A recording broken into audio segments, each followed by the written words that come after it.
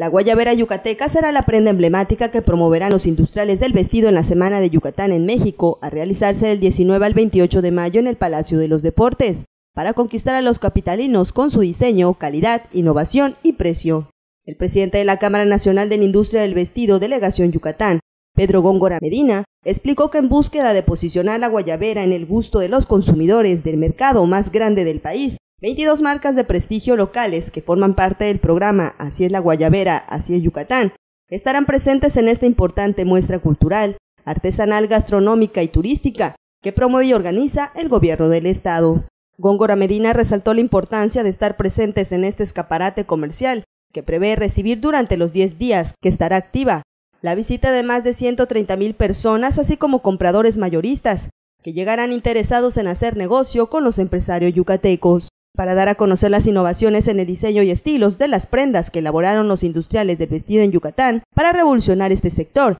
Se tiene previsto una gran pasarela el próximo domingo 21 de mayo, con novedosos estilos de la guayabera, que será la pieza insignia. Notivisión